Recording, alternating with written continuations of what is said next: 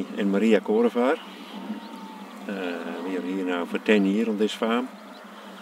It's about 100, it's 110 hectares in size. We got about 85 hectares deer fenced. And six years ago we started the farm with deer. We breed our own replacements from the red hinds and the red stags. We started that um, two years ago, and we breed with Wapiti cross stags for the venison side of um, the farm. So we try and get offspring, yeah, as good as possible and away early, and yeah, look at the weight gains. And over the last couple of years, we can see a growth curve that yeah, the weaners are getting heavier and are away earlier. Um, I think the breeding value of the stags have improved over the years as well. Yeah. The stags that we bought, and um, yeah, we try and look after the animals as good as possible. Try, yeah, keep them growing throughout the year. Winters is a bit harder, but we'll get there. Yeah, we got 80 red hinds and we made them only with red stags and the best hinds of those weaners, we keep them as replacements and all the stags go off to uh, the works. And you're getting some pretty good results. Yes, yeah, we do. Yeah. But last year the, at weaning, at mating, 1st of March, the hinds were 102 kilos first fawners, so that's not too bad. So obviously part of the picture is genetics. How important is that for what you're doing here?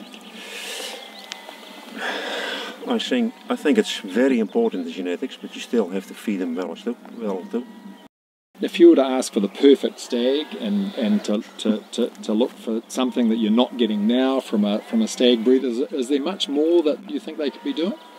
On the moment, I think we got everything we can get. We got good temperament, good growth rates, early conception conception rates, so very good scanning rates, especially with the rats. They're always 100% in fawn, so not a lot more to ask for. You're relatively new to deer farming. Um, you didn't know too much about the, the industry before you before you started. Not at all. If somebody came to you and said, "Hey, we're going to start deer farming," you know, what's your advice? What would be the probably the most important bit of advice you'd give to them? Have patience.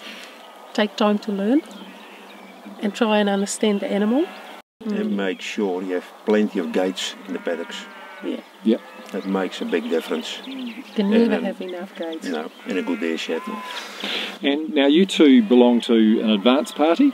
Yeah, we do. So how's that been for you? Again, coming in fairly new to the industry, has that been useful? Very useful, quite interesting actually, because yeah, we we not have we don't have farming background, so everything we do is new. But then you've got an idea how other deer farmers tackling certain certain problems. Yeah. It sounds like you're planning to be in the industry for a wee while yet. We hope so. Not-